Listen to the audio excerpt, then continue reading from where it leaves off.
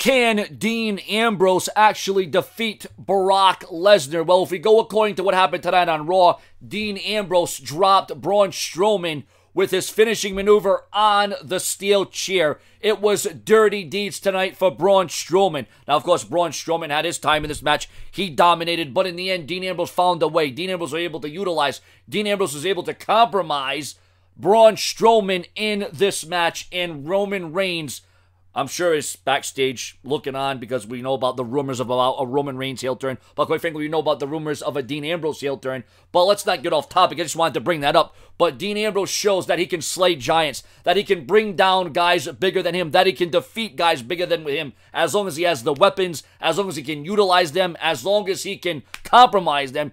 Dean Ambrose might actually have a chance against Brock Lesnar, and especially with all the weapons at his arsenal from Mick Foley and Terry Funk, Dean Ambrose just might be able to defeat Brock Lesnar at WrestleMania.